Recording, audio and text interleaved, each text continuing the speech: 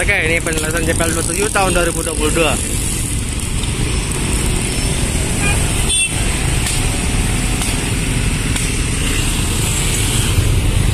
dia dengan posisi yang lebih enak lah nah agak legan dan tidak terlalu berbahaya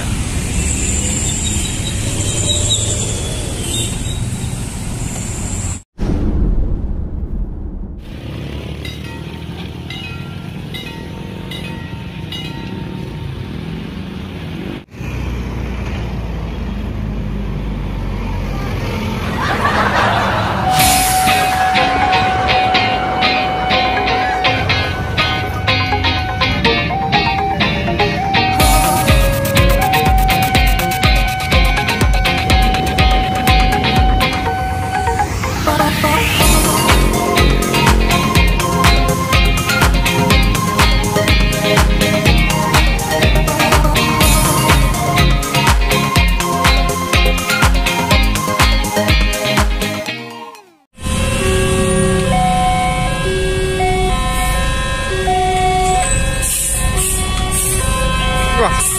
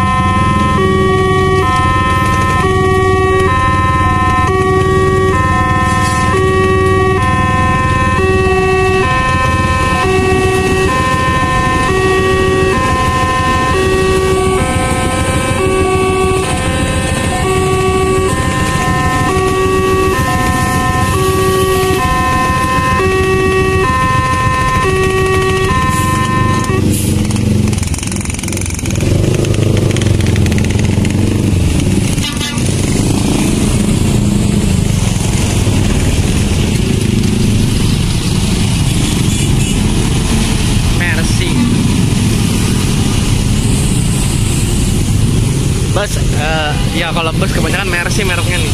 Thanks for watching.